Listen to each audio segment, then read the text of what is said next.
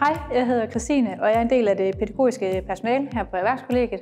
Lige nu der står vi i grejkælderen, hvor vi har alt vores grej. Og øh, det bruger vi jo til, når vi laver aktiviteter med jer, der bor her på Erhvervskollegiet. Det er sådan, når man bor her, så er der mulighed for at komme ud og lave en masse aktiviteter om eftermiddagen og om aftenen, øh, hvis man har lyst. Og det er jo en måde, hvor man møder de andre på uddannelsen og lærer nogle nye at kende og få skabt nogle gode venskaber på kryds og på tværs. Vi har to aktiviteter om eftermiddagen og to om aftenen. Og øh, vi har faste aktiviteter, f.eks. badminton og fitness og svømmehal. Og derudover så tager vi nogle gange ud og kører på mountainbike, kører single track, laver nogle kajakture.